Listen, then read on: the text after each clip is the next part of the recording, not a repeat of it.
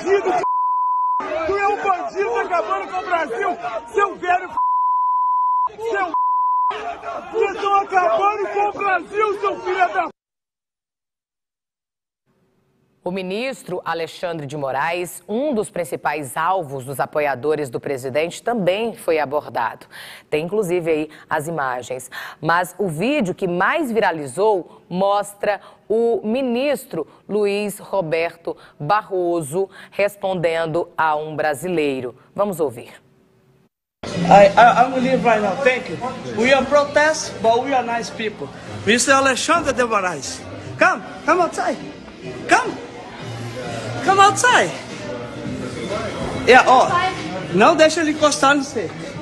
Não deixa ele encostar no você. If you touch it, you'll be in a problem. Aí, ó, gastando dinheiro brasileiro. Absurdo, gente.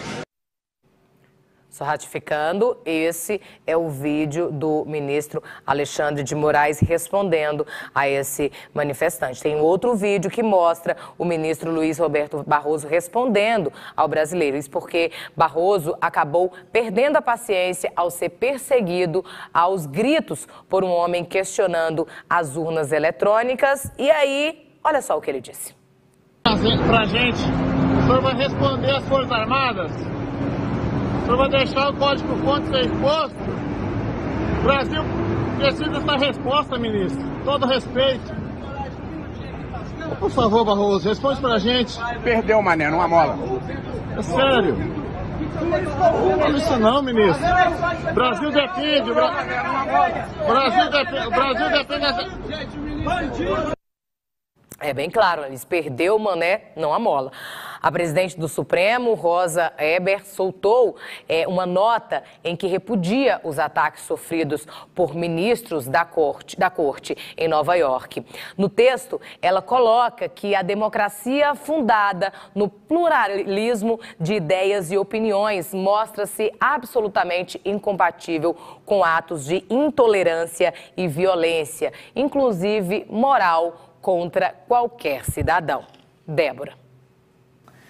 Obrigada, Jaqueline. Bom que serviram esses vídeos para ilustrar, né? a oratória toda trabalhada pelos nossos ministros e, claro, pelo público também. A gente teve ali situações adversas, quando o público estava um pouco mais exaltado, xingando, a, a, a, o lado dos ministros ficava mais tranquilo. Do outro, né, o brasileiro já estava sendo mais educado ali diante de Barroso. Barroso mandou essa de que né, não, perdeu Mané, não a mola. Eu queria te perguntar, Valdinéia, primeiro, quem perdeu? Quem é Mané? É, eu acho que essa colocação dele realmente é, muito forte. Primeiro, porque ele está xingando o povo brasileiro, né? Chamando de mané. A gente sabe que mané não é só o apelido de Manuel, né? Mané a gente fala quando você quer dizer que aquela pessoa ali ela é menos favorecida intelectualmente. A verdade é essa, né? E quando ele fala que perdeu, e a pessoa, e é impressionante que a pessoa foi tão educada com ele, né? De todas as manifestações ali em Nova York, foi o único que não xingou, foi o único que falou moderadamente, e aí ele vem com uma resposta dessa. E esse perdeu fica aquela pergunta no ar, né? É, ele está de um lado, então, porque então ele deve ter vencido.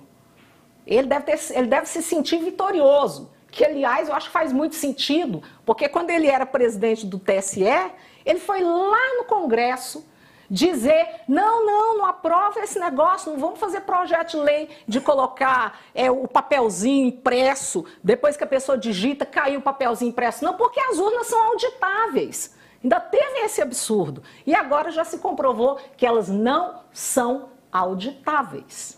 E ele usou esse argumento antes, né? Para impedir que o Congresso deliberasse sobre uma lei que era função do Congresso. Então, quem perdeu, realmente a gente vê que foi o Brasil. O Brasil saiu perdendo, só ele saiu ganhando. Eu vou fazer a mesma pergunta para o Cleiton, depois eu já vou colocar uma pitada diante do que você me falou, né, do ativismo em relação aos ministros, mas eu quero fazer a mesma pergunta, Cleiton, na sua visão.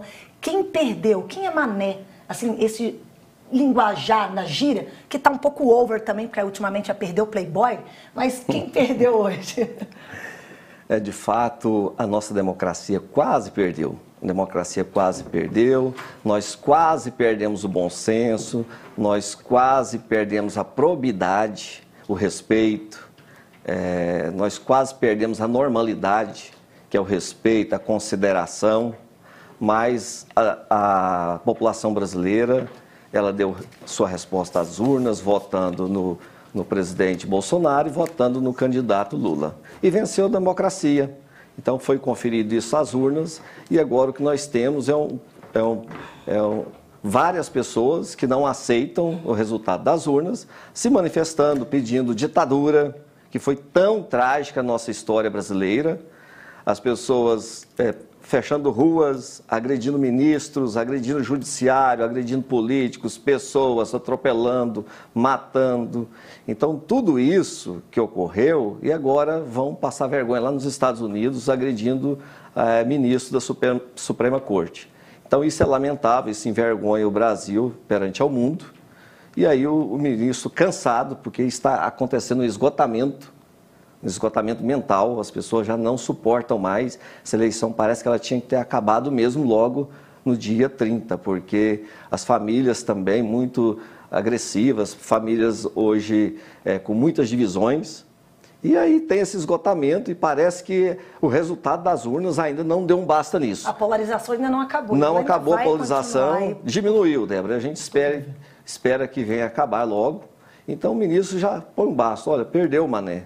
Por quê? Porque aquilo é papel de otário, é papel de pessoas que ignorantes, que não respeitam as urnas, que estão ali fazendo papel de trouxa, Mas envergonhando o nosso país. Seria uma postura inadequada para um político generalizar, perder o mané não na figura de um manifestante, mas generalizando. Eu tenho uma opinião aqui, a gente pede, né, obviamente, para a galera participar. O Francisco do Tremendão, ele disse o seguinte: olha, quando Barroso fala perder o mané, ele está afirmando que o Brasil é mané, as Forças Armadas são mané, o Judicial é mané, o MPF é mané, mané os senadores, deputado federal são mané. Ele, ele, no entendimento aqui do Francisco, obrigada pela participação, tem outros aqui também, mané é, é, no sentido plural, não singular, não foi a uma pessoa, mas sim é como se colocasse o Brasil todo numa questão de que perdeu. E aí, pegando agora a fala da, da, da Valdiné, é, dá a sugestão de que houve, então, um lado de quem perde e tem outro que ganha. Estou quase imitando a Dilma, né? Perdeu quem ganha, quem ganha perde.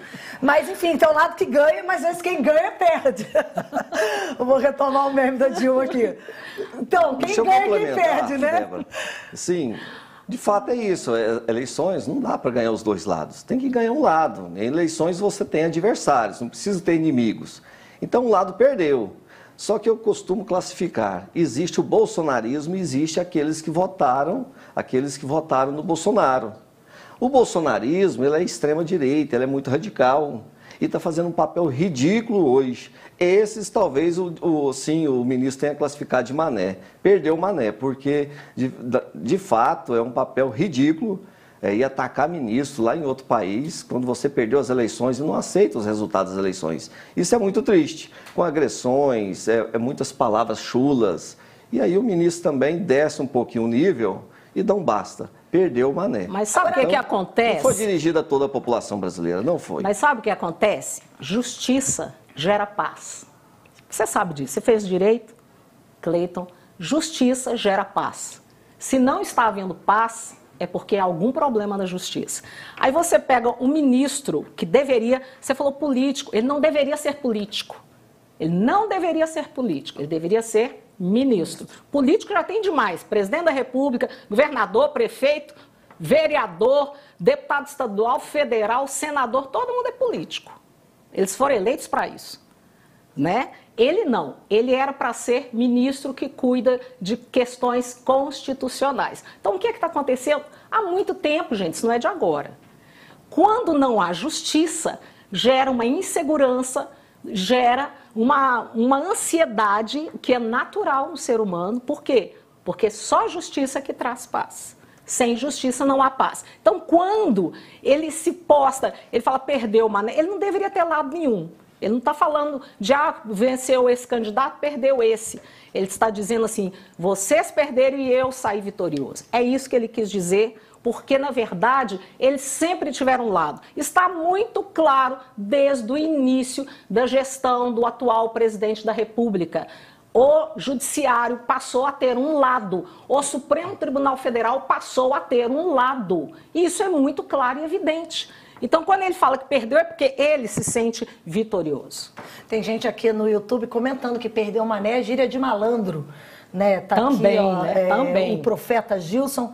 E aí o Eduardo Gomes, ele disse que ministro ganha muito dinheiro para ser guardião do país e tem por obrigação ser cobrado do povo. E eles não estão nem aí com o brasileiro porque se acham donos da verdade. Agora eu vou pegar é, a- a- essa, esse contexto da onde aconteceu essa frase que vai viralizando aí como meme, tá todo mundo já brincando, zoando. E eu te pergunto o seguinte, Cleiton e Valdineia também, a gente foi discutir democracia, fake news, votação nos Estados Unidos, num país onde se vota ainda com cédula de papel, onde os estados né, unidos, que eles cada um tem independência para poder fazer as suas eleições ali no caso distritalmente. E não seria um palco melhor o Brasil para se discutir democracia, porque os Estados Unidos, Cleiton, com você aí, isso gerou um, um certo distanciamento com o brasileiro, aí brasileiros lá nos Estados Unidos tendo se colocado. A gente não viu americanos contra a favor, a gente tá, tem brasileiros querendo também saber eh, sobre isso. Por que discutir lá? Porque o que, que ocorre? É, os Estados Unidos, eles têm uma empresa chamada Lead ou Lide, que eles costumam dizer, ela, ela reúne grupos empresariais é, que vão discutir sobre economia, sobre política, Foram sobre mais de mundo. 200 empresários lá. Sim, então o que, que ocorre, Débora? Esses grupos, eles querem um país seguro para fazer seus investimentos, para desenvolver o seu capital, para maximizar os seus lucros, e eles precisam de um país seguro. Então, eh, os Estados Unidos hoje é uma das democracias mais consolidadas, passou um risco com a invasão do Capitólio, mas a lei foi mais forte e o comandante do Exército diz não ao Trump. Olha, eu sou submisso à lei e não a um determinado governo. Governos passam. O governo do PT passou, o governo do Fernando Henrique passou, o governo do Bolsonaro está passando. Vem agora o novo governo do presidente Lula. Então, democracias fortes, eh, governos passam, as urnas são respeitadas e o Brasil hoje é modelo, é modelo hoje em apuração de eleições, em resultado de eleições, é muito eficaz, eficiente. Então, os Estados Unidos, o Brasil hoje está sendo elogiado pelo mundo pela sua democracia, pelas urnas. E agora os ministros estão lá falando sobre democracia, eh, falando de tudo que ocorreu no Brasil e o mundo inteiro reconhecendo, reconhecendo a vitória do presidente Lula. Quando foi eleito, o TSE deu o veredito dizendo está eleito agora o presidente Lula, o mundo inteiro então já, já começou a saudar o presidente eleito, que é o presidente Lula. Então, ou seja, o mundo inteiro reconhece a nossa democracia. Quem não está reconhecendo a nossa democracia até o momento são os perdedores. Mas eu espero que logo vai baixando a poeira, eles vão se acalmando. Só os extremistas, só os bolsonaristas. Não estou dizendo de todos que votaram no Bolsonaro. Muitos já estão conformados, já estão pensando daqui dois anos para as eleições municipais, estão pensando daqui quatro anos. Mas tem um pessoal que está aí muito ainda é, nessa, nessa perspectiva de um terceiro turno. Não vai acontecer terceiro turno. Agora, é, só para você complementar, Valdinei, eu já vou te dar até mais um gancho, que o ministro, né, durante lá o discurso dele lá em Nova York, falou exatamente em relação é, à, à questão das urnas é, e das fake news, e até mesmo de, de ter que é, penalizar as empresas de tecnologia por estarem promovendo a abertura para essa disseminação de fake Por news. liberdade de expressão. Ou aham. seja, a gente É. acaba caindo assim, a gente fala de uma democracia, por um É. lado, mas por outro lado está falando em cerceamento pelas empresas de comunicação ou das. das vamos botar É, aí o YouTube, techs, é, o essas- aham. Facebook, Aham. o Instagram, de elas terem o papel de filtrar, digamos assim, Uhum. o que é fake news ou não. Sim, é, só complemen- complementando quando você falou dos Estados Unidos, só lembrando que também, diferentemente do Brasil, que um presidente é eleito pelo povo, lá não é, né? Você sabe disso. O povo é como se fosse 50% dos votos. Os outros 50% é o próprio Congresso. Ou seja, eu não sei por que falam. A única coisa que a gente pode dizer que realmente os Estados Unidos era a maior democracia do mundo era a liberdade de expressão que eles tinham até pouco tempo atrás. Eu acho que nesse ponto realmente eles eram imbatíveis na questão da liberdade de expressão. Porque até o sistema de eleição deles é absurdo. O povo inteiro vale metade do que o Congresso vale. Por isso que, na verdade, aquele outro candidato venceu, né? o Biden venceu, porque o povo elegeu um, mas o Congresso elegeu outro. Por isso, a gente, a gente não entende muito bem esse sistema americano, mas é esse. Mas continuando, né? É curioso, ministros do STF, o que, que eles têm a ver com economia? O que, que eles têm a ver com essas questões que são típicas de executivo? Ou seja, é o que Barroso diz, já vivemos um semi-presidencialismo, e aí nós, do judiciário, é que somos o topo, nós é que vamos comandar tudo. Né? Aí se justifica eles estarem lá para falar de economia. E, Barroso... a, e a economia, inclusive, que o Brasil já está, ó, começando a fundar pelas declarações de Lula, né, de que não vai respeitar teto, de que ele quer fazer assim. Ele, na verdade, ele quer fazer um governo Dilma, que acabou sendo pega porque para maquiar o dinheiro que gastava, aconteceram as pedaladas fiscais. Mas vamos deixar isso para outro momento, vamos voltar ao que você falou sobre a questão de. É, o, o, A democracia versus é, a, a, essa limitação da, da, dos. Todo poder, todo poder que não é controlado, porque quem controla o poder judiciário seria o Senado, que está todo mundo de rabo preso, tudo quietinho. O poder que não é controlado, o que, que é, é, é uma máxima super conhecida. O poder corrompe. E o poder absoluto, o que, que faz? Ele corrompe absolutamente. Então, todo poder que não é controlado, que foi o caso do STF, o que começa a acontecer? Eles começam a achar que eles são deuses. Realmente, eles começam a achar que são deuses. E no Olimpo, você faz o que você quer. No Olimpo, você determina. Cala a boca aqui, esse aqui pode falar só isso, esse pode falar aquilo. Essa, essa, essa, essa e essa palavra são proibidas. É o que está acontecendo. Eles já proibiram as redes sociais. Como a gente vê as redes sociais hoje em dia, as pessoas vão falar, tem várias palavras que são proibidas. Gente, isso é democracia? É Você democracia? Cleiton? Qual é a sua visão estou, sobre isso? Estou achando, achando assim um exagero. É muito Não exagero. é exagero. É muito exagero porque é, nós temos que parabenizar nossas instituições que funcionaram vigorosamente durante essas eleições. Olha, nós, nós tivemos uma disputa muito desigual, muito desigual, Rodinei, muito desigual, porque nós tivemos um abuso do poder político do, do, do candidato Bolsonaro, nós tivemos um abuso do poder econômico. Você ele, acha que tem que ter ele... um controle desses abusos, eh, cerceando ou, ou responsabilizando as empresas de tecnologia para que elas limitem é, algumas postagens de que poderia ser fake news ou não, tem uma censura prévia, como digamos assim, acho que seria basicamente isso, uma análise prévia, uma postagem ou uma punição póstuma a isso. E tem que ser muito rápida, Débora. Porque viraliza. Não, porque mas você o que, é a que ocorre? Disso? O que, que ocorre? Eu penso que uma sociedade boa, madura, uma sociedade melhor para todos, ela tem que prevalecer a verdade. Então, quando você coloca dois candidatos e um sofre muitas mentiras, a conhecida fake news, que, que em instantes toma conta de todo o país, é, interferindo numa eleição. Como é que é a eleição? A eleição que deveria ser propositiva. Pelo programa de governo dos candidatos, dos seus partidos e toda a base que compõe, não, aí nós temos o quê? Um efeito contrário. São as, as fake news é que vai dizer qual candidato que eu vou escolher. Ou seja, eu acabo com a imagem de determinado candidato determinado da campanha e eu acabo favorecendo outra determinada. E isso é muito ruim, porque deveríamos escolher o melhor candidato e as fake news vêm distorcendo muito. Em 2018, as fake news perdeu, é, pesou muito para a eleição para o presidente Bolsonaro. Nessa agora, a justiça agiu mais rápido, não de ofício. A justiça foi é, foi acionada pelos partidos que estavam em desvantagem por conta de mentiras que, que permeavam as redes sociais. E aí o TSE agiu rapidamente, é, exigindo do WhatsApp, do Facebook, Instagram, Twitter, que retirasse conteúdo perverso, conteúdo mentiroso, que isso é danoso à democracia. Então eu penso que isso é danoso. O que é danoso, vamos tirar, vamos fazer uma campanha propositiva. O Bolsonaro governou bem, para 58 milhões de pessoas, apresentou seu projeto. Só que teve um projeto anterior e um projeto futuro que ele foi mais audacioso, foi querido pelo povo brasileiro e recebeu mais de 60 milhões de votos.